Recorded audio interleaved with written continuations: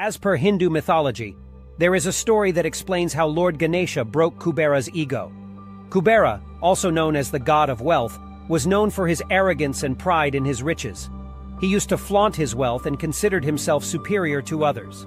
Once Kubera decided to hold a grand feast and invited all the gods and goddesses, including Lord Ganesha.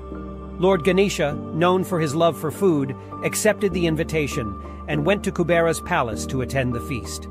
When Lord Ganesha arrived at Kubera's palace, he was struck by the opulence and grandeur of the place. Kubera's wealth was displayed extravagantly, and he boasted about his riches and considered himself superior to all the other gods. As Lord Ganesha arrived at Kubera's palace for the grand feast, he began to eat voraciously. He consumed all the food that was served to him and kept asking for more. Kubera, who was known for his pride and arrogance, took this opportunity to boast about his wealth and ordered his servants to bring more food to satisfy Lord Ganesha's hunger.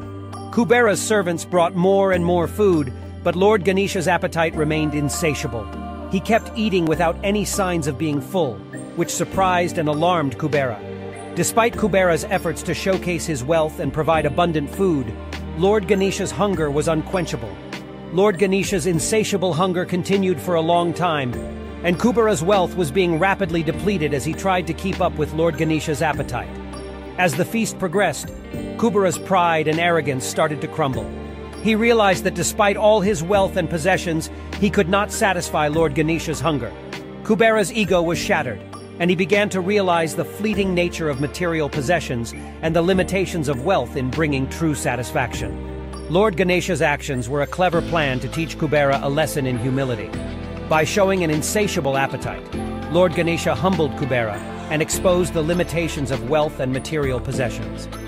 It was a reminder to Kubera that true happiness and contentment do not come from wealth and external possessions, but from within, through virtues such as humility, compassion, and wisdom.